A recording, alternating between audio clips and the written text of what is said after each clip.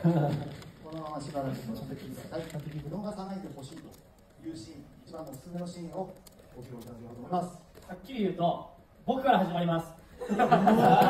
から多分本当に物語が始まるのでそこを一番集中して見ていただけたらなと思います。2人がなんかそのよりぐっとあの距離が縮まるシーンがあるんですけど星空を見ながらまあねちょっと一節僕が歌わせていただくんですけどそこをすごく気に入っているのでぜひ見てもらいたいなと思っております。1幕の59ページと分かる。ゴリルがすごく楽しそうにあのマイクと、えー、過ごすこの時間が自分の中でもすごい演じて楽しいシーンだなっていうふうに、えー、思った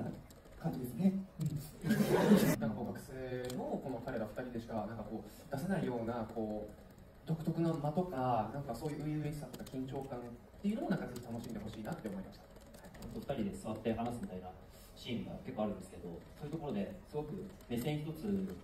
細かいところまで、まあ、こう作っていたりするのでそういう細かなところを見ていただけたらなと思います。